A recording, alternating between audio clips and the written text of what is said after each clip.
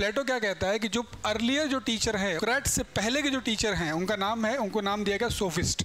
तो सोफिस्ट ने क्या, सोफिस्ट जो चीज़ पढ़ा रहे हैं they teaching wrong thing they are driving driving the people towards where towards darkness and the darkness is materialism example. today I have 100 rupees. I can buy something which is worth of 100 rupees right? Tomorrow I got 1 lakh rupees. Can I improve my life materialistically? Now I'll go and buy Armani suit. What changed in me? Materialistically I changed. Have my personality changed? The answer is no.